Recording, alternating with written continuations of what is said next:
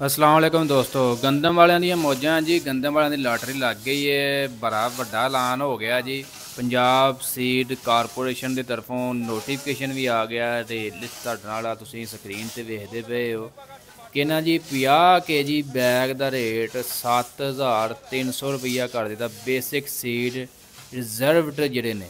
ਠੀਕ ਹੈ, ਇਸ ਤੋਂ ਇਲਾਵਾ ਜਿਹੜਾ ਸਰਟੀਫਾਈਡ ਅਪਰੂਵਡ ਸੀਡ ਹੈ ਨਾ, ਜਿਹੜਾ ਯਾਨੀ ਕਿ ਤਸਦੀਕਸ਼ੁਦਾ ਬੀਜ ਹੈ ਉਹ ਜੀ, ਉਹਦਾ 50 ਕੇਜੀ ਦਾ ਬੈਗ ਦਾ ਰੇਟ 6300 ਰੁਪਈਆ ਉਹਨਾਂ ਨੇ ਕਿਹਾ ਤੇ ਡੀਲਰ ਦੇ ਵਿੱਚ ਜਿਹੜਾ ਰਿਪੋਰਟ ਕਰਨੇ 200 ਰੁਪਈਆ ਡੀਲਰ ਕੱਟ ਦਿੰਦੇ ਨੇ ਕਿ 6500 ਰੁਪਏ ਤੱਕ ਜਿਹੜਾ ਜ਼ਿਮੀਂਦਾਰ ਨੂੰ ਮਿਲੇਗਾ। ਤੇ ਮੈਂ ਹੈਰਾਨ ਆ ਕਿ ਕਿਹੜਾ ਜ਼ਿਮੀਂਦਾਰ ਜਿਹੜਾ ਹੈ 50 ਕੇਜੀ ਦਾ ਬੈਗ 7000 6500 ਰੁਪਏ ਤੱਕ ਖਰੀਦੇਗਾ।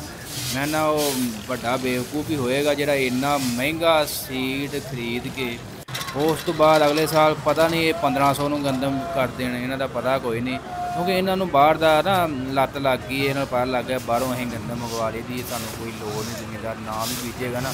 ਤੇ ਅਸੀਂ ਜਿਹੜਾ ਨਾ ਬਾਹਰੋਂ ਮੰਗਵਾ ਕੇ ਪੂਰੀ ਕਰ ਲਵਾਂਗੇ। ਚਲੋ ਵੇਖ ਲਾਂਗੇ ਕਿੰਨੀ ਕੁ ਦੇਰ ਬਾਹਰੋਂ ਮੰਗਵਾਉਂਦੇ ਨੇ। ਬਾਕੀ ਇਹ ਨੋਟੀਫਿਕੇਸ਼ਨ ਵੇਖ ਕੇ ਹੈਰਾਨਗੀ ਹੁੰਦੀ ਹੈ ਕਿ ਹਕੂਮਤ ਕਿਵੇਂ ਇਹਨਾਂ ਨੂੰ ਇਜਾਜ਼ਤ ਦੇ ਦਿੰਦੀ ਹੈ ਜੀ? ਇਹਨਾਂ ਨਾਲ ਤੁਸੀਂ ਮਹਿੰਗਾ ਹਕੂਮਤ ਕੋ ਜਿਹੜੀ ਚੀਜ਼ ਆ ਜਾਂਦੀ, ਉਹ ਸੋਨਾ ਹੋ ਜਾਂਦੀ, ਜਿਹੜੇ ਜ਼ਿਮੀਂਦਾਰ ਕੋ ਹੁੰਦੀ ਹੈ ਤੇ ਉਹ ਮਿੱਟੀ, ਘਟਾ, ਉਹਦੇ ਕੁਝ ਨਹੀਂ ਪੱਲੇ ਪੈਂਦਾ। ਤੇ ਫਿਲਹਾਲ ਜ਼ਿਮੀਂਦਾਰਾਂ ਕੋ ਇਹਨਾਂ ਨੇ 1800 1900 ਰੁਪਏ ਦੇ ਹਿਸਾਬ ਨਾਲ ਗੰਦਮ ਖਰੀਦ ਲਈ ਹੈ ਤੇ ਜਿਹੜੇ ਵਿਚਾਰੇ ਵੇਚ ਬੈਠੇ ਨੇ, ਉਹ ਤਾਂ ਡੇ ਨੇ ਸਿਰ ਨੂੰ ਹੱਥ ਮਾਰ ਮਾਰ ਹੋਣ ਕਿ ਅਸੀਂ ਕੀ ਕਰ ਬੈਠੇ ਹਾਂ ਬਾਕੀ ਇਹ ਚੈੱਕ ਕਰੋ, ਹੁਣ ਇਹਨਾਂ ਨੇ ਨੋਟੀਫਿਕੇਸ਼ਨ ਦੇ ਦਿੱਤਾ ਜੀ, ਇਸ ਰੇਟ ਦੇ ਹਿਸਾਬ ਨਾਲ ਤਾਂ ਤੁਹਾਨੂੰ ਅਸੀਂ ਜਿਹੜਾ ਨਾ ਬੀਜ ਦੇਵਾਂਗੇ ਤੇ ਬੀਜ ਤੁਹਾਡੇ ਕੋਲ ਭਾਈ ਕੋਈ ਨਹੀਂ ਲੈਣ ਲੱਗਾ ਇਹ। ਤੁਸੀਂ ਘਰ ਹੀ ਰੱਖੋਗੇ, ਤੁਹਾਡਾ ਬੀਜ ਸੁਸਰੀ ਖਾਣਗੀਆਂ।